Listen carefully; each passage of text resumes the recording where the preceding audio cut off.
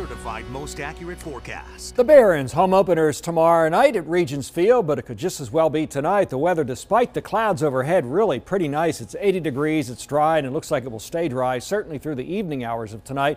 A very weak shower system moving in from the west, but it's not going to cause much rain here.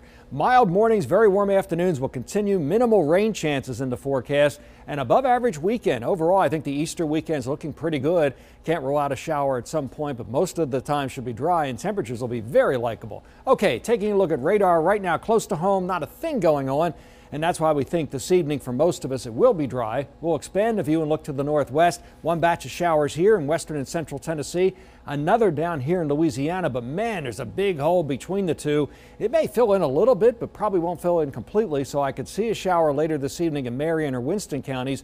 I think for the rest of us, just a chance of a shower overnight tonight, and even then, not very much rain. 80 degrees in Birmingham, 78 now in Jasper, 78 in Double Springs.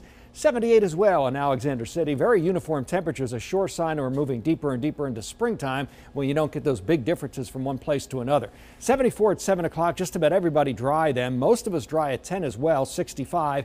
By then, there might be a shower over the northwest. Overnight tonight, anybody could see a passing shower as temperatures get down to the lower 60s, so not getting very cool. 4 o'clock this afternoon, we have this front in here. It looks pretty impressive, but it's not very impressive, really, not causing much in the way of rain. You'll notice this computer model brings it into our northwestern counties at 10 o'clock, but then watch what happens. Slowly goes away and dries up, so the front's going to run out of moisture. That means any rain overnight tonight will be very, very limited, and during the day tomorrow, it suggests a few showers develop down here. Mostly that's south of the viewing area. It does include Coosa County, Chilton County, maybe southern Bibb, Greene, and Hale. So the chance of rain is there, but it's not very big. And beyond that point, I think some dry weather settles in for Thursday into Good Friday. It looks like that day will be dry as well. We'll watch this system over the weekend out here well to our west, but it's a long way off and most of it's headed northeastward, so probably we're basically dry Thursday through the Easter weekend with any rain chances very limited.